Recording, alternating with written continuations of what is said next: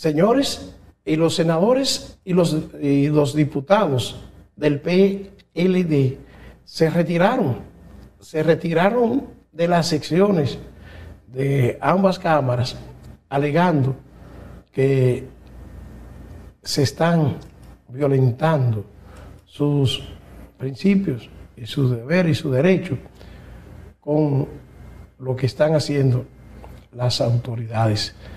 Vamos a ver lo que dijo el vocero de los diputados del el PLD, el diputado Juan Julio Campos, al presentar las razones por las que el PLD se retiraba de la Cámara de Diputados. De lo dispuesto en la legislación dominicana, en fondo y en la forma, siempre respetando la dignidad de los investigados y su presunción de inocencia establecida constitucionalmente.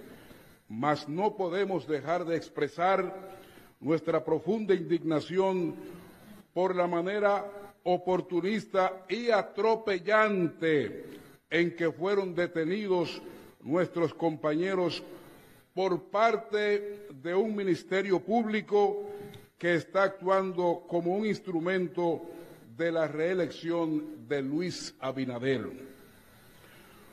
Compartimos la aspiración de la sociedad, honorables diputados y diputadas, nosotros compartimos la aspiración de la sociedad de avanzar hacia una efectiva aplicación de una justicia objetiva y no selectiva, donde no haya presuntos favoritos ni tampoco hayan vacas sagradas. Y decimos no vacas sagradas porque todo el mundo ha visto las denuncias de escándalos de corrupción del actual gobierno, desde ministros hasta, hasta directores generales, pero al parecer estos casos no han llegado al Ministerio Público de este gobierno. Todo el país ha visto los reportajes de programas investigativos como los de Nuria Piera, y Alicia Ortega, que han mostrado pruebas irrefutables del uso de recursos del Estado en la compra de alcaldes y dirigentes de otros partidos y tampoco ha tenido consecuencia. Denuncia que hicimos aquí en este mismo hemiciclo, señor presidente. Nosotros queremos preguntarle al Ministerio Público y a su jefe, Luis Abinader, ¿Por qué, salvo el famoso caso 13, cuántos procesos hay abiertos y cuántos presos, a pesar de que van 23 destituciones por la comisión de presuntas irregularidades y actos de corrupción? Esa es una gran pregunta que hacemos. No obstante, resulta claro que detrás de estas acciones hay intereses políticos. Habían preparado estos expedientes hace dos años y meses, pero esperaron estar a menos de un año de las elecciones para accionar como lo están haciendo ahora. Esperar la cercanía con las elecciones para imputar al compañero Gonzalo Castillo, anterior candidato de nuestro partido, y quien sacó cuatro de cada diez votos en el país es claramente el resultado de que Luis Abinader sabe que su caída no hay quien la pare y que por el contrario, Abel Martínez, Abel Martínez cada día conquista más el corazón de esos dominicanos que quieren ver un gobierno que dé resultados. Se habla del financiamiento ilícito de campaña y nosotros también nos volvemos a preguntar, honorables diputados y diputadas, ¿a quién financió el narcotráfico? ¿De qué partido son los extraditados y los extraditables? El PLD solicita al Ministerio Público que investigue a Luis Abinader. ya que el ciudadano Ángel Locual, hoy apresado, ha declarado en más de una ocasión que le entregó 400 millones de pesos al hoy presidente de la República para su campaña. Y nos volvemos a preguntar, si el Ministerio Público objetivo e independiente ha dicho que ese dinero de Locuar es ilícito, ¿por qué entonces no ha investigado al presidente de la República?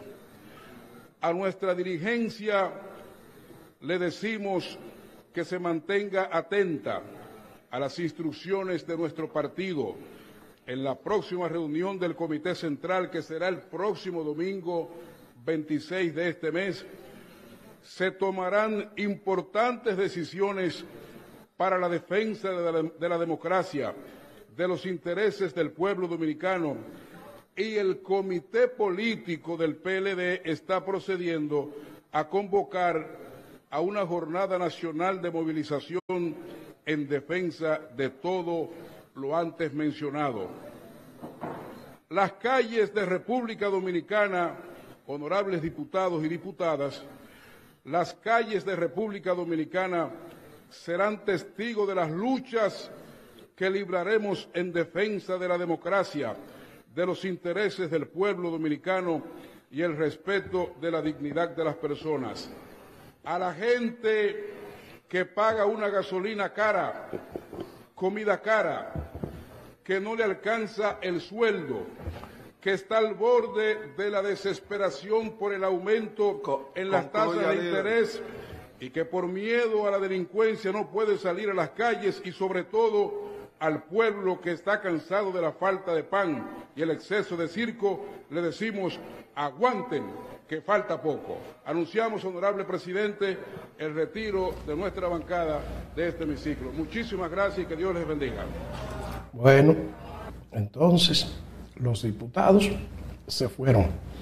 No estuvieron en la sesión los diputados, lo mismo hicieron los senadores del PLD en protesta por el apresamiento de sus compañeros de partido. Esperemos, esperemos a ver lo que va a suceder con esta posición que mantiene el Partido de la Liberación Dominicana de estar alejado de las sesiones de las cámaras legislativas.